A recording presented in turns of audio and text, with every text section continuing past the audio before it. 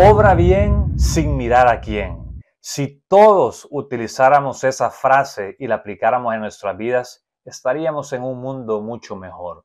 Y aquellos que no vivan bajo esa frase, entonces dejan mucho que desear y por eso las cosas están como están. Y yo creo que en este momento eso le caería muy bien el saco a la gente del Partido Demócrata, que en estos momentos ese partido prácticamente se está desbaratando por completo y está a los ojos de toda la gran nación estadounidense y del mundo entero. No se veía algo como, como tal esta victoria aplastante por parte de Donald Trump y los republicanos, porque todo indica que se quedarán con ambas cámaras del Congreso y ya ahora sí empezarán a hacer muchas cosas por el bien de esta gran nación. Dicen, dicen, escuchen, que algunas de las maneras en que van ahora a tener que combatir de concretarse esto, de que ambas cámaras y la Casa Blanca sean republicanas, que a nivel estatal van a centralizar su poder, dicen los demócratas, para impedir, para evitar que los republicanos se salgan con la suya. Qué manera más pobre y torpe de pensar qué bueno que me, ya dejé de apoyar a esa gente y terminamos descubriendo la verdad a tiempo. Así que todo eso y más, ya van a ver toda la información que les traigo en ese video. Ojalá nos acompañen hasta el final. Así que no sigamos perdiendo el tiempo y aquí comenzamos. Y bien, familia, fíjense ustedes cómo las cosas han cambiado. Los se sienten tan débiles, Tan derrotados es el espíritu demócrata en estos momentos, gente que fue engañada y lo siguen engañando. Ahora dicen de que apareció Jorge Ramos en un video por ahí al sur del de Univisión diciendo de que ya no van a renovar el TPS antes de salir la gente de, de la administración Biden-Harris como una venganza porque no ganaron, porque no le dieron el voto a los demócratas. Qué terrible, Dios mío, qué bajo han caído la gente del Partido Demócrata. Es terrible, pero bueno. Fíjense ustedes, además de la barbaridad con la que, han salido y las justificantes que ellos dicen por las cuales perdió Kamala Harris.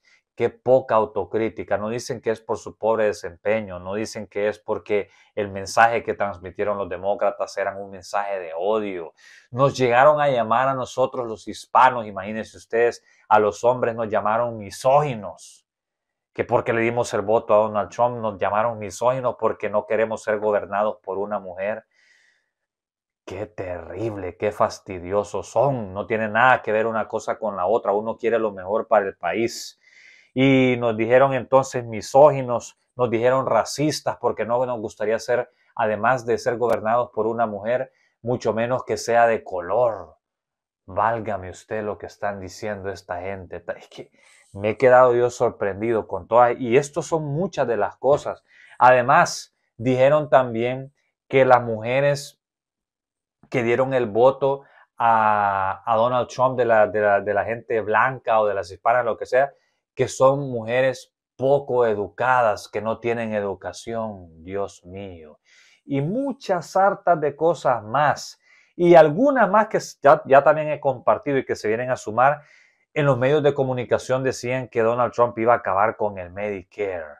Imagínense ustedes, no, si es que si yo empiezo a ir mencionando toda la lista, la caja de razones por las cuales ellos perdieron no terminaría, no me alcanzaría un video de una hora para poderlo explicar todo.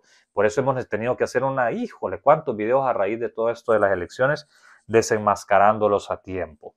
Y ahora los ataques de los demócratas en las urnas estas semanas siguen desencadenando una batalla luchadora entre las alas del partido.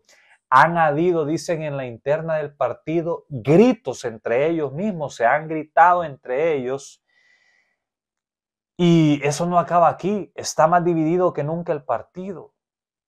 Muchos dicen que Biden estaba contento de que Trump ganó. Yo no sé si eso será cierto, no he podido encontrar evidencia al respecto, pero cuando el río suena dicen que piedra lleva. Lo que sí pudimos ver es cuando salió Jill Biden a votar el día de las elecciones con un traje rojo y, y una blusa blanca, como que se iba directamente a darle el voto a Trump. Así se veía, por lo menos. Entonces, Este debate no es nuevo. Los demócratas se han enfrentado en repetidas ocasiones por la estrategia de los partidos después de ciclos electorales difíciles. Y las líneas de batalla son las mismas ahora que entonces. Enfrentan a los liberales contra los moderados. Pero este año las apuestas fueron aún más altas. Al dirigirse a las encuestas esta semana, los demócratas habían advertido que Trump era una amenaza existencial para las fundaciones demócratas de la nación y su lucha para evitar recuperar el poder se enmarcó como nada menos que un esfuerzo por rescatar la república. O sea, ellos, la, ¿cuál fue la campaña de ellos? Atacar a Donald Trump todo el tiempo. ¿Por qué? Porque no tenían políticas en verdad para poder decir esta política nos va a hacer ganar. Cuando empezaron a hablar de que una persona que tenía una casa y le iban a poner un impuesto a alguien que tenía una casa y se había ganado equity y después la quería vender y tenía y si llegaba a ganar no sé cuánto tenía que pagar como el 25% o el 40, ya ni me acuerdo del porcentaje o hasta el 50% en algunos casos de las ganancias de capital. ¿A quién le iba a gustar eso? ¿A quién en su sano juicio le iba a gustar eso? Entonces, y ya aparece por ahí también este Gavin Newsom. Imagínense ustedes esta imagen de este tweet tan lamentable y no sé ni qué otro adjetivo utilizar, donde dice, California está lista para luchar, dice el gobernador de California, Newsom.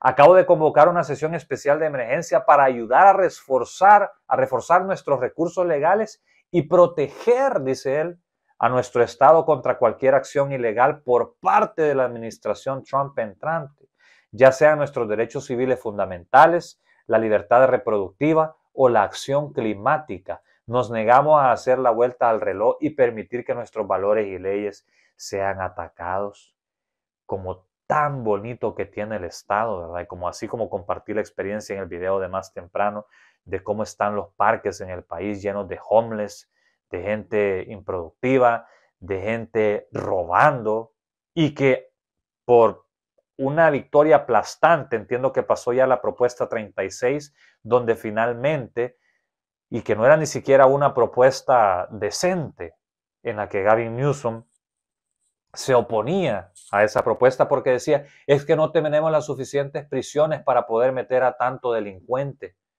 Y que entonces él no estaba de acuerdo con que se aprobara la propuesta 36 que decía de que una persona que encuentren tres veces que ha robado menos de 950 dólares y llega a estar tres veces, lo llegan a agarrar por lo mismo, ya lo van a poder meter preso. Cuando eso debería hacerse a la primera vez que lo hacen, no tener que esperar tres veces pues él no quería ni siquiera que fueran tres veces, sino que puedan robar todas las veces que quieran, por media vez sean menos de 950 dólares, porque no hay donde meter a tanta gente, no tenemos los suficientes cárceles para poder hacer eso. Válgame Dios. Y ese es el dirigente del estado de California. Y así dicen los demócratas, vamos a utilizar ahora a nuestros gobiernos estatales para que puedan dar la cara por el partido. Vaya cara la que van a dar cuando no entienden que están a punto de perder ya el estado de California los demócratas. En la próxima elección lo van a terminar arrasando. Y eso es porque también no ganaron esta vez, estoy casi seguro porque hubo muchas anomalías acá que no pedían ID, no pedían nada para, para uno ir a votar, solamente llegaba y ya le daban la boleta y ya. Increíble, solo aquí se ve eso. Lo mismo pasó en Nueva York. Y él dice que esas son las cosas que hay que defender. Qué barbaridad. Ojalá y lo investiguen ahora que esté ahí y que vean si no tiene alguna cosa por ahí, porque este, estos son los tipos de gobernantes que terminan acabando con los pueblos de una gran nación. Y esto que sea un llamado para todos esos esas personas, los demócratas, porque yo no creo que a nadie le guste estar viendo gente homeless, como dije en el video previo, que están tiradas en la calle, en el piso, ya no puede ir al parque uno tranquilamente porque sale algún, está algún hombre ahí tirado, con jeringas, por el consumo de las drogas. Y los parques son para tener actividades recreativas, para que puedan ir las familias con los niños. No se puede vivir así. Hay que hacer una limpia de raíz. Pero lo primero, ojalá, y todavía nos faltan como dos años con este gobernador, dos, tres años pero bueno, es lamentable. Y, siguen, están viendo y no ven que los acaban de dar una gran arrastrada y quieren seguir en las mismas. Ellos necesitan hacer una seria introspección para comprender que salió mal y por qué nuestro mensaje no resuena o no llega a la gente, dijo un representante, la representante Sarah Jacobs del estado de California.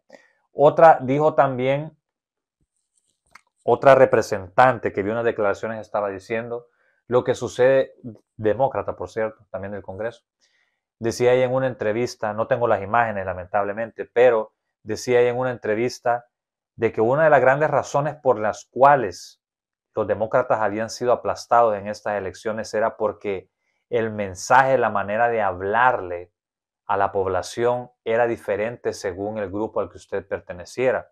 Si le estaban hablando a los hispanos, se iban con una serie de cuestiones migratorias para por ahí agarrarlos y amenazarlos con que entonces los iban a deportar y los iban a hacer esto y meterles miedo y que bueno.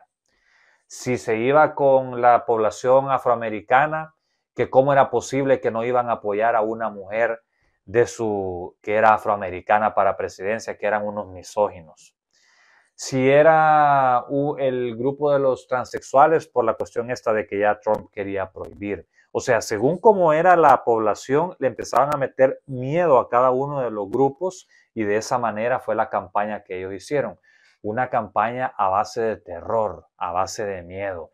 Y entonces decía esta representante de que por razones como esa y por no hablarle normal, por no hablar con el sentido común, el famoso common sense que tan de moda se puso en esta campaña de lo que tanto hablaba Donald Trump del sentido común y que incluso los demócratas ahora mismo ellos dicen, es que la verdad es que no hay sentido común en el partido en estos momentos.